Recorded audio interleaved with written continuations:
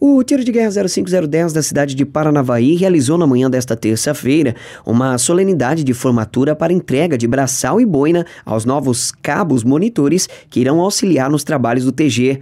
O curso de formação de cabos tem a finalidade de formar o cabo da reserva de segunda categoria e permitir a habilitação de pessoal para auxiliar os instrutores do tiro de guerra no desempenho de suas funções. Ao todo, participaram do curso 18 atiradores, porém, na formatura foram empossados 13 que receberam das mãos do chefe de instrução, subtenente Davi Santos, e do instrutor Sargento Tyson, o braçal e a boina verde-oliva. Então, o curso de formação de cabos é de extrema importância para o TG 05010, como para todos os tiros de guerra do Brasil, né?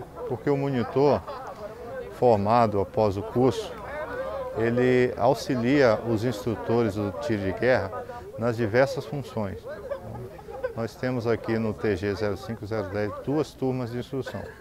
Cada turma de instrução são 50 atiradores, é, formando dois pelotões.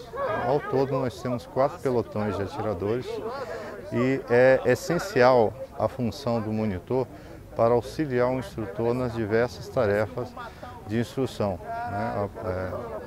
Seja como guia é, do TFM, seja como monitor de ordem unida. É, ele auxilia na execução das tarefas diversas, né? comandando as, as, diversas frações, comandando os GCs, né? nas atividades externas, nas ações complementares que são desenvolvidas pelo TG é, na comunidade de Paranavaí.